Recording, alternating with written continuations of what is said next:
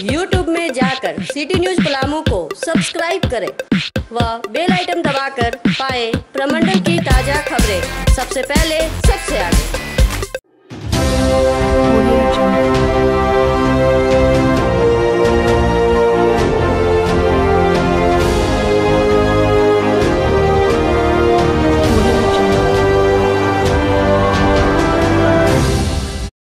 सुहाग की रक्षा का व्रत हरित तालिका तीज कांडी प्रखंड में बुधवार को पूरे धार्मिक हर्षोल्लास के साथ मनाया गया। प्रखंड क्षेत्र के हरिगामा सहित विभिन्न गाँवों में तीज व्रत के अवसर पर महिलाओं ने दिन भर का निर्जल उपवास रखा और रात्रि जागरण कर भगवान शंकर पार्वती की पूरी भक्ति भाव से पूजा अर्चना की। यह व्रत भाद्रपद कृष्ण तृतीया तिथि को मनाया जाता है और इस खास अवसर पर सुहागन अपनी सुहाग की रक्षा के लिए भगवान से प्रार्थना करती हैं।